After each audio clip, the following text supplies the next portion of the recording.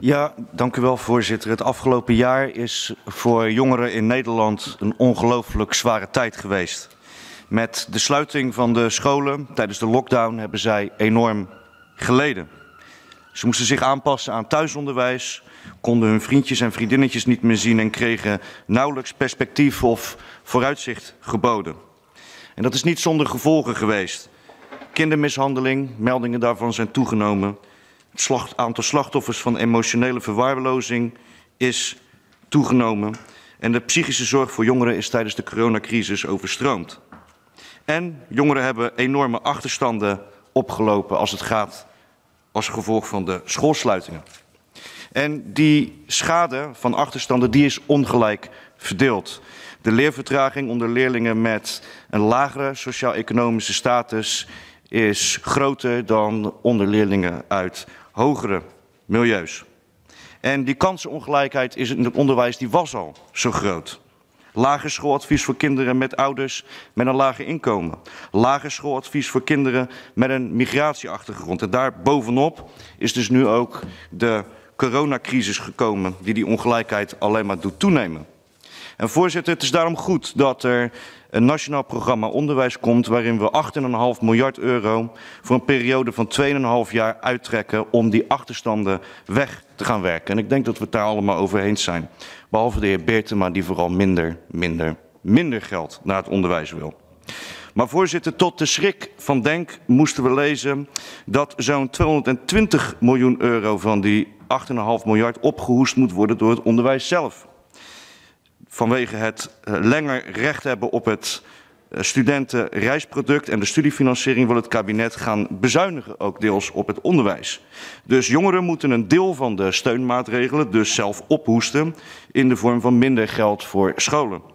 En mijn vraag in de richting van de minister is, hoe kan zo'n besluit nou genomen worden? Graag een reactie van de minister dat dit niet de bedoeling is en dat we dat niet gaan doen.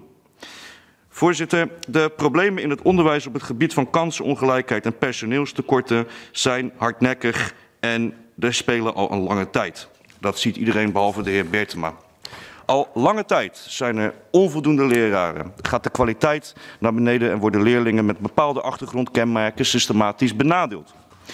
Maar Denk sluit zich aan bij de zorgen vanuit het onderwijsveld dat daarom een incidentele investering van 8,5 miljard onvoldoende is om die structurele problemen op te lossen. En we geven als percentage van ons bruto binnenlands product steeds minder uit aan onderwijs. Het is van 5% in de jaren van 7% in de jaren 80 naar om en nabij de 5% nu gegaan. Dus we geven steeds minder uit relatief gezien aan ons onderwijs. En het incidentele bedrag van een 8,5 miljard is mooi, maar gaat niet die structurele problemen oplossen. En we zien ook in de uh, NRC uh, reproductie dat de ambtenaren van OCW zelf een veel hoger bedrag dan die 8,5 miljard voor ogen hadden om alleen al de incidentele kosten van de corona-achterstanden te betalen. Dus hoe zit het daarmee? Ook een vraag in de richting van de minister. Denk uh, maakt zich ook zorgen over of scholen het wel kunnen bolwerken om nog voor de zomer die schoolscan uit te voeren, om de achterstanden in kaart te brengen en dat plan op te stellen over hoe zij het steungeld willen uitgeven. Ze komen al uit een hele moeilijke tijd. Graag een reactie daarop van de minister. En ook een reactie op het punt of een gehaaste schoolscan uh, voor de zomer, of we daarbij niet het risico lopen dat als we dat gehaast doen, dat we niet alle achterstanden goed in beeld krijgen bij leerlingen. En dat brengt mij bij de looptijd. En daar heeft Denk ernstige bedenkingen bij. En natuurlijk is het van belang om snel aan de slag te gaan en quick wins door te voeren die effectief zijn.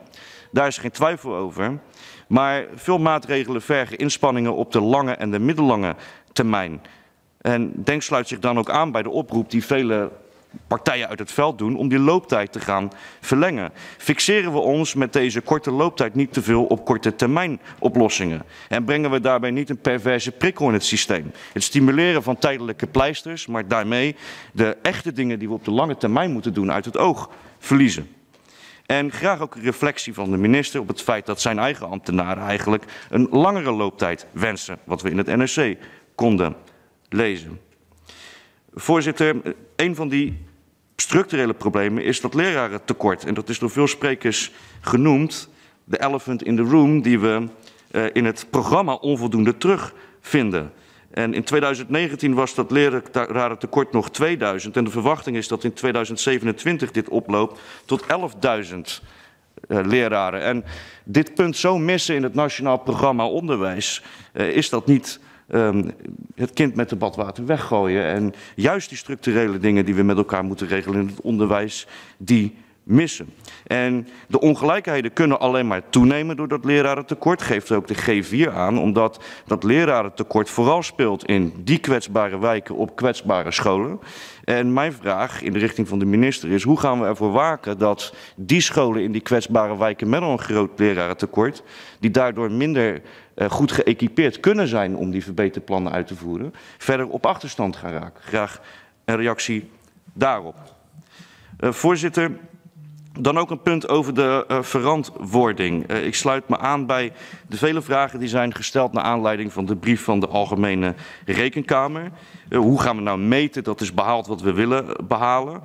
wat zijn nou de indicatoren die we gaan gebruiken om achterstanden te meten? Ik heb daar wat over gezien, maar ik, ik heb daar weinig consistentie in gezien. Dus hoe zorgen we ervoor dat het uniform is, zodat we daar ook na een aantal jaren een conclusie kunnen trekken in hoeverre we die hebben ingelopen? Hoe meten we hoe de doelen zijn uh, behaald? Uh, is er al een idee van hoe de verdeling op grond van die indicatoren van het geld precies tot stand komt? En hoe borgen we nou dat het geld dat scholen en gemeenten krijgen, wat via het gemeentefonds of een lump sum terechtkomt, dat dat ook uitgegeven wordt aan de doelen uh, waarvan we willen dat het aan uitgegeven wordt? En Denk sluit zich aan bij de oproep van de heer Bisschop als het gaat om ouderbetrokkenheid. Uh, moeten we daar niet voor meer voor vastleggen in de voorwaarden voor de plannen? En vragen ons ook af hoe we de betrokkenheid van het personeel, maar ook betrokkenheid van leerlingen uh, gaan borgen in de uitvoering van de plannen. Uh, voorzitter, ik wil afsluiten met een specifiek punt in de richting van de, van de minister. En dat is een punt waar de fractie van Denk al lang aandacht over vraagt en dat is onderadvisering in het onderwijs. We weten dat op basis van welke verklaring dan ook, het kunnen onderbewuste uh, vooroordelen zijn, uh, kinderen met ouders met een lager inkomen, maar ook kinderen met een migratieachtergrond, gemiddeld genomen een lager schooladvies krijgen.